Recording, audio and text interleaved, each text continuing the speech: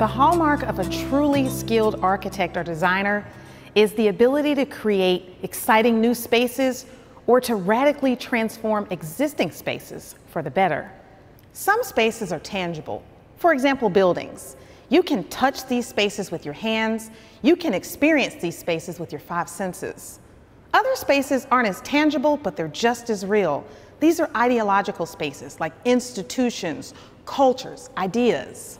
Long before Wally Carradine began reimagining and crafting the tangible built space, he was reimagining and reshaping ideological spaces. Wally Carradine was the first African American graduate of the University of Arkansas's School of Architecture. This accomplishment, achieved in spite of all odds, began Wally Carradine's illustrious career of reshaping spaces, all kinds of spaces, for the better. Wally uh, Carradine uh, was born in West Memphis and came to Fayetteville to attend the then School of Architecture. This was in the 1970s. Um, he, in fact, is the first African American graduate of what is now the Fay Jones School of Architecture and Design, the first graduate in architecture.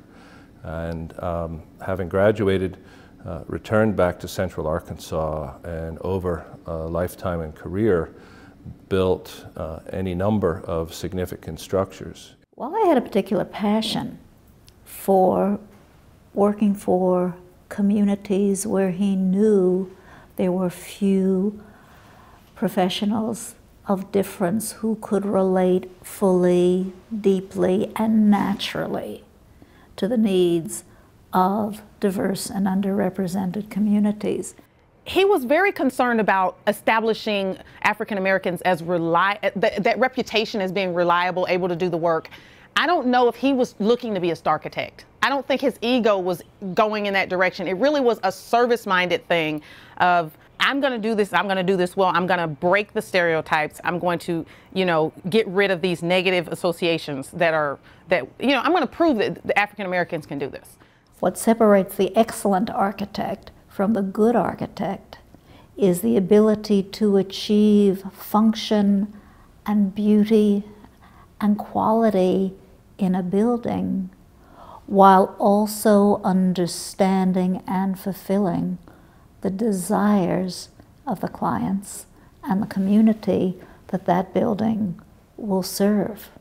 When Wally graduated and with his degree in architecture, he also became a contractor. So the building I worked with, uh, with Wally in that building, Wally actually was the contractor that built that building. To be part of the largest black architecture firm at the time in the Urban League building that Wally had actually built and was actually part owner of now uh, was, was pretty neat. Knowing that somebody that looked somewhat like you does something important causes you to have more confidence. He has left a legacy, certainly in terms of the example he provides for all of us, certainly for our students and our African American students as to uh, opportunity, accessibility, uh, and ultimately, uh, I would say, courage. And um, we have determined uh, to honor him by naming the east portal of Vol Walker Hall uh, in his honor. And when it comes to diversity, whether you are African American, Caucasian, or Asian, I think there's a, a, a, a, language that we have to have. We don't, I think we take diversity for granted when we don't realize the positive impacts and the different perspectives that having a diverse environment, um, what it allows creatively. One thing I appreciate about my perspective is that I'm exposed to another culture's um, expressions of beauty in, in a very intimate way and, in, with, with a large quantity of access. So um, in school, I went to an HBCU, which is a historically black college or university, that's what HBCU stands for. I went to Tuskegee and I was exposed, thankfully, there to a lot of African American design, but in general, our industry highlights um, work from Europe and work from mostly um, white designers, which is equally, you know, it's just as beautiful as all other architecture. So I think just understanding that aesthetic and then applying my own aesthetic, I create something interesting. And I, I like doing that. And I like the, I think that as firms diversify and as they in, increase in different perspectives, architecture is going to be elevated. 25, 26 years ago to today, I've seen a big change.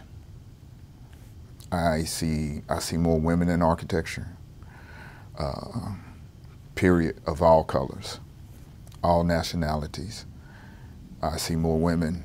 Uh, I see minorities. It was important for me is to understand different cultures in terms of my being diverse, understanding what different cultures need, understanding how different cultures, uh, how they approach things, whether they're likes, whether they're dislikes. This has been a priority of mine since I arrived, was to not only build overall scholarships for uh, students in the school, but to build scholarships in very particular areas, specifically for students who are from Arkansas, students who are first generation to come to the university and to the school, and then even more specifically, students who are uh, residing in um, a whole range of counties across Arkansas, from which, to be honest, we haven't been receiving many applications or enrolling many students. Me and a couple of other people in our firms are coordinating a new mentor program called Building Momentum.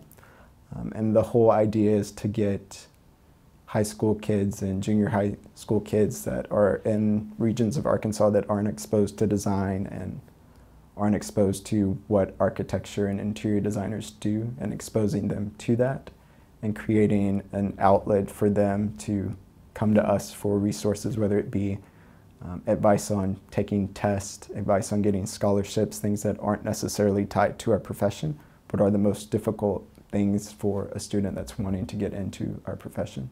This school is open to you all. This school is accessible to you all. This school will support you when you're here, and it will support you as you graduate and move forward into your careers, wherever they may lead you. We have work to do, as I've said, in uh, enrolling an ever more diverse student body. We have work to do in recruiting and appointing an ever more diverse faculty, and we are working on it it's fair to say that anything we do at this point will surely, surely be visible, but it will also be insufficient. That is the work we have to do.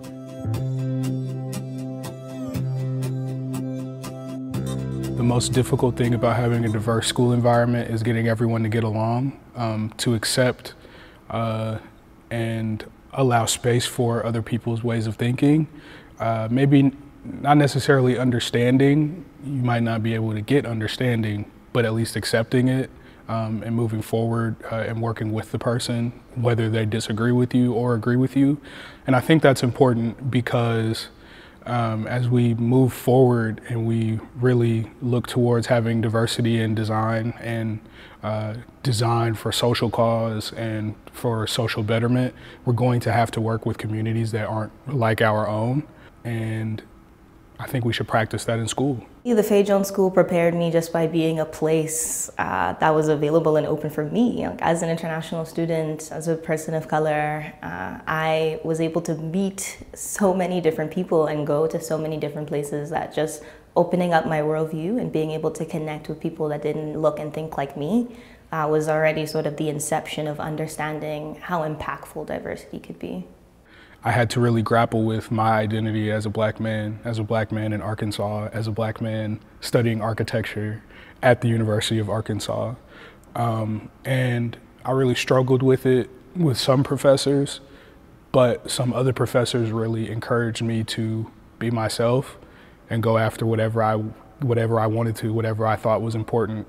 To help improve the climate for diverse designers, particularly in my office, I have these table talks where I bring together different intersectional groups in the office where we could begin to have discussions about the things that matter to us and how we think our role and our identity impacts design. For example, last week I gathered together the women in the office and we had a Women's History Month table talk where we expressed kind of what our role is as women, challenges, how we could begin to uplift each other.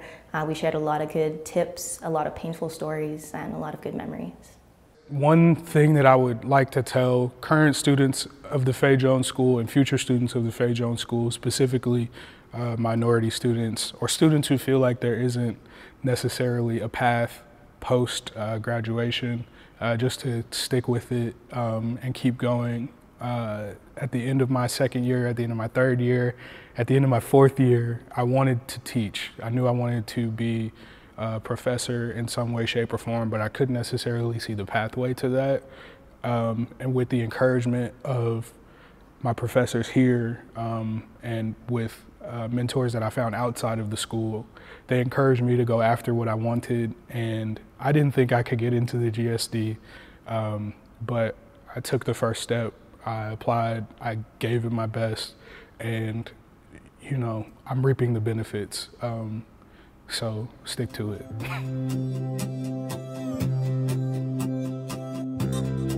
Uh, the NOMAS Club is a club that is specifically oriented around minority students for us to be able to support each other um, through uh, design education. There are um, conferences that we can attend where we're able to network with uh, minority architectural professionals um, and go throughout the country and get to meet new people, uh, get exposed to new places, new ideas, um, and it is sponsored by the Fay Jones School. Uh, in the past, NOMAS has organized events, meetings, um, and invited educators and professionals to come speak to us and sort of connect our students to professionals in order to pr promote the place of minorities in our practice. The experiences I had in NOMAS really opened my eyes to what was beyond my undergraduate experience. Um, not having much representation within my undergrad uh, experience really, it made me want to see what else was out there. So putting myself out there as a leader um, and seeing what came from that really helped me to um, gain exposure to conferences. I didn't know that there were national conferences. And when I went to that, I didn't know that there were so many other professionals out there doing what I came to school to do. NOMA has lots of initiatives and lots of resources to help students that are seeking licensure and opportunities. They have a foundation fellowship that they recently announced that places up to 20 students in very large firms all across the country. So they do their best to promote diversity and to partner with firms in order to have minorities represented in the field. At the Fay Jones School, NOMAS seeks to create a community in a profession where there isn't very much minority representation and we, here we can continue to advocate for our representation in, as students, educators, and practitioners in our fields. NOMAS is a great support system for diverse designers. Creating this diverse setting where there's representation, everyone's included, people from different backgrounds, that's important. But also important in creating these spaces is this ability to collaborate, to come around the table together for open sharing of ideas and working together. Having all these voices at the table is what makes a good design a great design.